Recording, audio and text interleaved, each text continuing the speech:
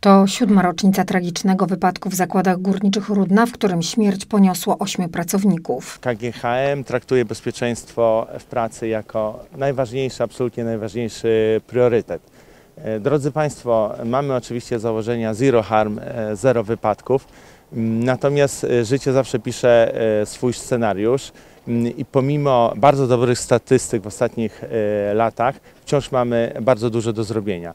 Bardzo ciężko z naszym zespołem pracujemy, aby dojść do sytuacji, kiedy mamy zero e, wypadków. Przypomnijmy, że tablica stanęła przed siedzibą centrali spółki w Lubinie rok po tragicznym wypadku, czyli w 2017 roku. Głaz, na którym została umieszczona, pochodzi bezpośrednio z miejsca wypadku. Osiem kamieni okalających pomnik symbolizuje osiem ofiar. Przypomnijmy, do tragedii doszło w zakładach górniczych Rudna w listopadzie 2016 roku na skutek samoistnego tąpnięcia górotworu. Wówczas śmierć poniosło ośmiu górników, a 21 zostało rannych.